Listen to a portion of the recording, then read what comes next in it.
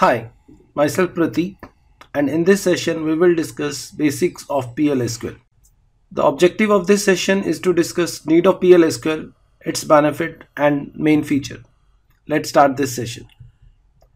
PLSQL stand for Procedural Language Structured Query Language. It is an extension of SQL language. Actually, it eliminates many restrictions of the SQL language. The primary objective of SQL is to query the database by using simple structured query language. SQL is designed on the concept of non-procedural language. It means that in order to retrieve the data, there is no need to write a program in case of SQL. It makes SQL more simple and easy to use. But due to this non-procedural nature of SQL, it has some limitations. SQL does not have any conditional statement. It does not support looping statement. We cannot create user-defined function and procedure in SQL and it also does not support exceptions. While in all other major programming language, we have all those features. And number of time in order to support a business logic, we require these features. So SQL has been extended to PLSQL which adds procedural features to SQL. So PLSQL extends SQL by adding conditional statements, looping statements, user-defined functions, procedures, and exceptions which we found in all other major programming language. So all these procedural constructs blend seamlessly with SQLs, make it a powerful tool or a language. So we can conclude that PLSQL combines SQL language, ease of data manipulation, and procedural language, ease of programming. Now let us discuss major benefit of PLSQL. The most important benefit of PLSQL is improved performance. As you can see in this figure, SQL statements are passed to Oracle server one at a time. It means that each time whenever we issue a statement, a call is made to the server for its resources. All these resources are opened and closed every time whenever we made a request for retrieval of data. It generates lot of network traffic which results in slow processing. While in PLSQL all these group of statements are combined together to form a block. This whole block is passed to the server only once and after processing all the resources are closed which results in faster execution of data and it also improved network traffic. So we can conclude that in SQL there is a lot of network traffic because every SQL statement are executed individually. In PLSQL all these group of statements become a program or block. This block of statement executed all together which results into less network traffic and improved performance. Another advantage of PLSQL is modularization of our programs. We can divide the problems into small modules and all these small modules can be coded by using PLSQL block which include three major sections declare, begin and exception. We will discuss about all those sections in coming sessions.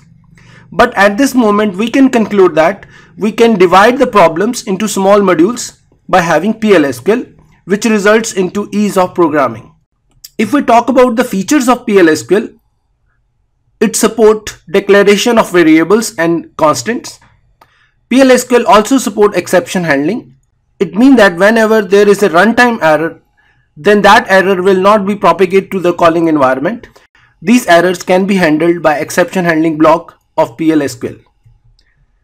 It allows the creation and calling of user-defined functions and procedures, which were not possible in simple SQL. It support triggers. A trigger is a code which automatically got executed when some event occurs. Whenever we apply a primary key constraint on a column, you can visualize that system check every time whenever we insert a data for uniqueness of the key and its null value.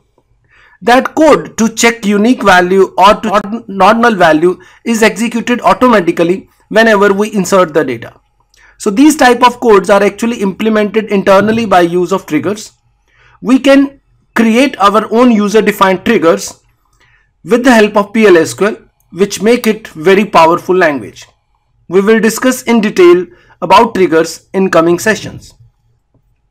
PLSQL also support cursors. It means that we can process a group of rows with the use of this concept.